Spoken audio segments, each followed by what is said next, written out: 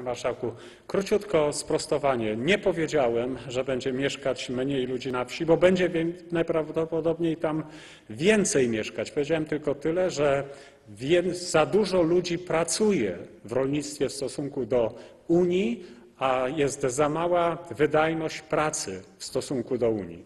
Dziękuję bardzo.